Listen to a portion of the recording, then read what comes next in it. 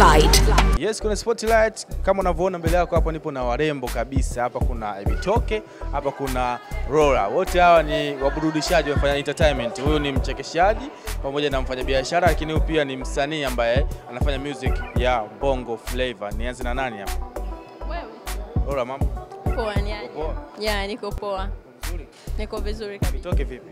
fresh etaspota Yeye ni marafiki au Chama awe cha sugu.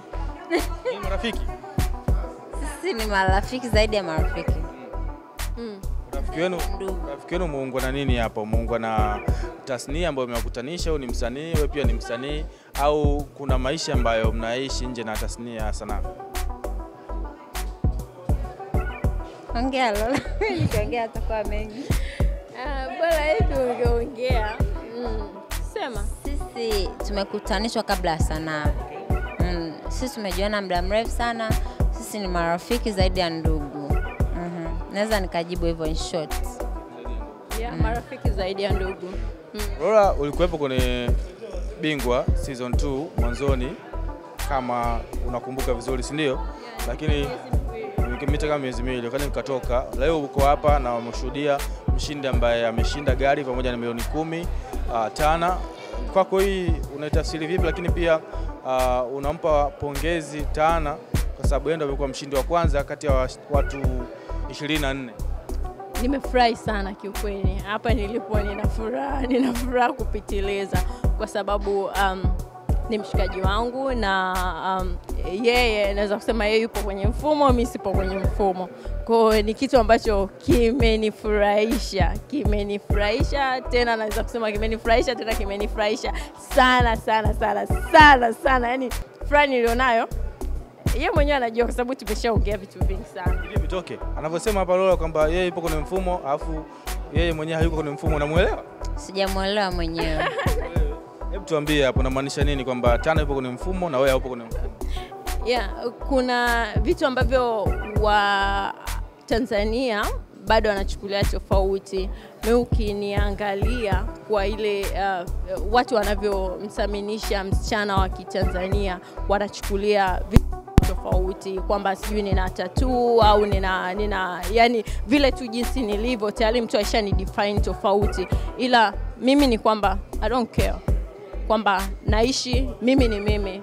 Mimi ishajikubali kwamba ndivyo nilivyo. Kwa hiyo um, naweza kusema kuna vitu ambavyo na- navifanya vitu ambavyo ni vizuri lakini kwa watu wengine tayari washapitisha judgment kwa sababu tu ya hiyo line ndio ya muonekano kwamba hii sio sio mfumo na mimi ndio hivyo nishasema i don't care ndio maana kuna wale ambao wako kwenye mfumo na sisi ambao hatuko kwenye mfumo lakini mimi siko kwenye mfumo and i don't care Unasema upo kwenye mfumo na you don't care. Yes.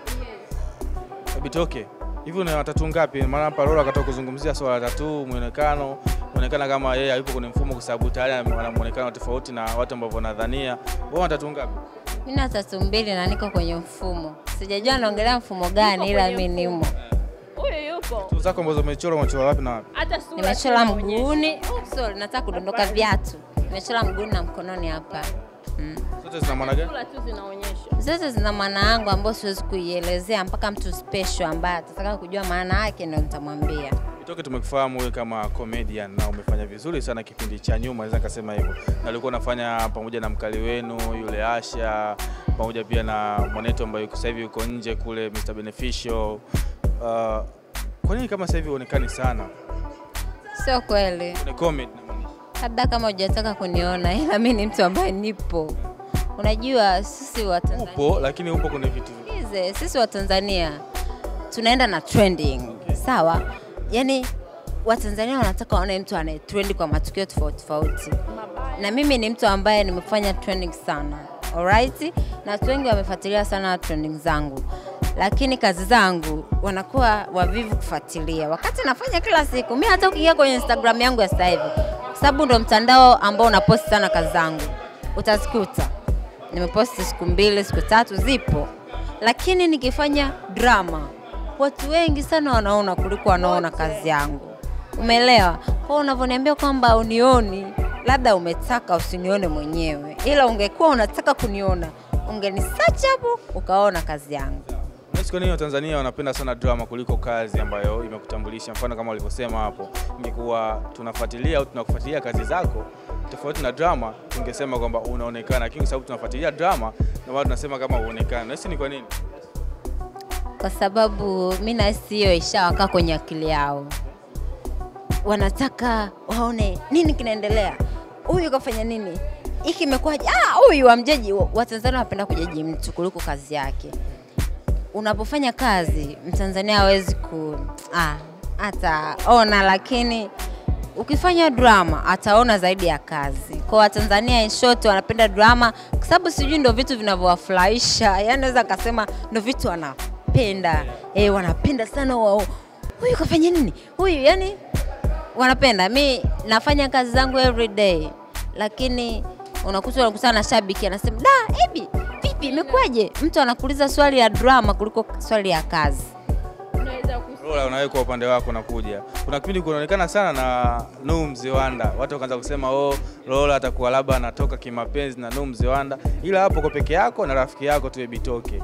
Unahisi pia kama alivyosema Bitoke kwamba Watanzania wanapenda drama kuliko hata kazi zako, nikizingatia hapo ni msanii una kazi zako, lakini ile picha tu ya wewe na Nuh Mziwanda ule karibu, akaanza kuona kama nyie mtakuwa mna date. Kabla hata hiyo ya Nuh Mziwanda, Watanzania wanapenda vitu vinavyokuharibia kuliko vitu vinavyokujenga.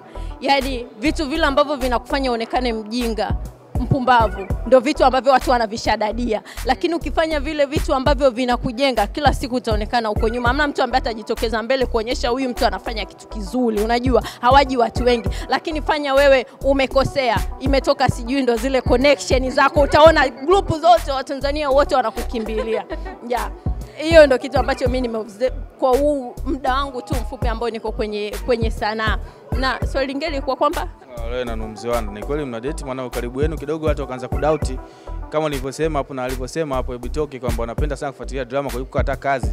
Kwa hiyo zile picha na ule karibu ukaanza kuleta maneno mengi sana kwamba inawezekana labda mkama date au um, ile pale tu ni chemistry ya mimi na yeye.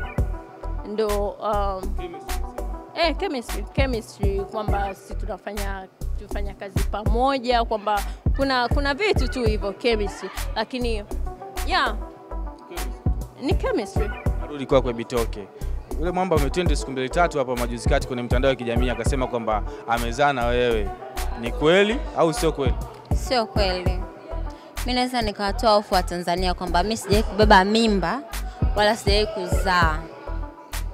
So ile ambayo nilikuwa nimeitengeneza naweza nikasema ni makosa yangu, lakini pia naweza nikasema ni kujipatia kipato. Mimi ni msanii underground, ananifuata ambaye anataka kupush kazi zake, ananiwekea pesa mezani, bwana nifanyie hivi. Kuna muda nilinenepa sana, tumbo likawa kubwa na pia unajua mambo ya technology, mtu anaweza aka- akachukua kichwa chako akaweka kwenye picha ya mtu mwingine ili uonekane kwamba. So mimi nilikuwa nimemtengenezea huyo jamaa ili aweze kuingia mjini ap- a- I mean ajulikane, lakini mi sijai kubeba mimba, sijai kuzaa na niko single and I'm ready to mingle. Sawa. Bitoke, hebu tukumbushe siku za nyuma kidogo mlikuwa mnafanya vizuri sana kama ulivyosema wewe, mkali wenu Asha pamoja na Mr Beneficial na mlikuwa mna kazi zenu zinapostiwa katika Timamu TV. Nyinyi na Timamu TV ilikuwaje mpaka mkafarakanyika, mkapoteana, kila mtu akaanza kupita kivyake? Ah, kiukweli wanasemaga kwamba kwenye kazi usilete mapenzi.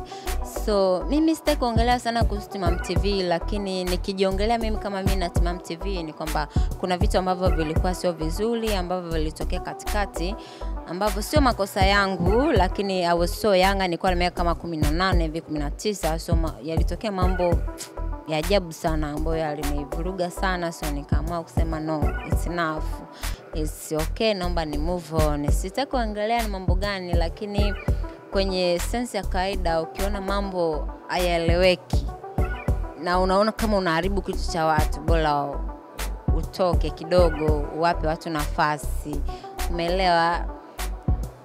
Ni kama nikiongelea mambo ya timamu yananiumiza kwa sababu mimi tukiachana kina beneficial kina bwana mjeshi wao hawajui chochote ila kwa upande wangu mimi tangu nilivyotoka mimi ndo vitu vilikuwa vimeenda up down up down wengine wakasafiri. Lakini plani ya kusafiri kwenda marekani ilikuwa kwangu lakini hapo katikati kuna vitu ambavyo sio vizuri. Sio makosa yangu wala sio makosa nani ila vilitokea vikawa vimeharibu plani Spotlight.